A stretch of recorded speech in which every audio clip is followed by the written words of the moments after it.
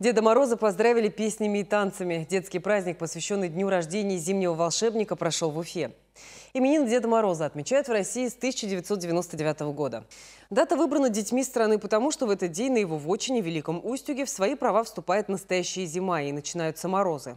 На центральной площади официальной резиденции проходят всевозможные праздничные мероприятия и по традиции зажигаются огни на первой новогодней елке. Отметили день рождения Деда Мороза и в столице республики. Воспитанники трех специальных коррекционных школ Уфы собрались, чтобы поздравить зимнего волшебника. Помимо теплых слов и рисунков, ребята подарили ему свои лучшие творческие номера. Я сегодня подарила ему песню, написанную мной. Конечно же, я думаю, что сегодня Дедушке Морозу понравится. Дедушка Мороз это, это любимый детский персонаж.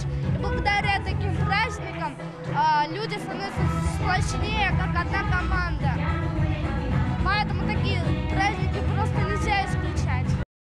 Организатором акции для детей с ограниченными возможностями здоровья выступил благотворительный фонд «Люди искусства».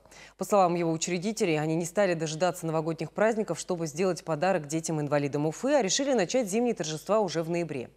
Именно совместное творчество и веселое времяпрепровождение поможет ребенку получить положительный эмоциональный настрой и увеличит его шанс на выздоровление, считают организаторы. Это дети все-таки с проблемами со здоровьем.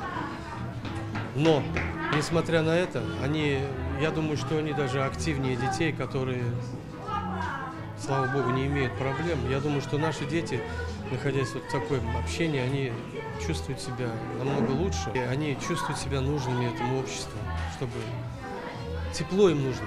Понимаете, самое главное, им нужно тепло.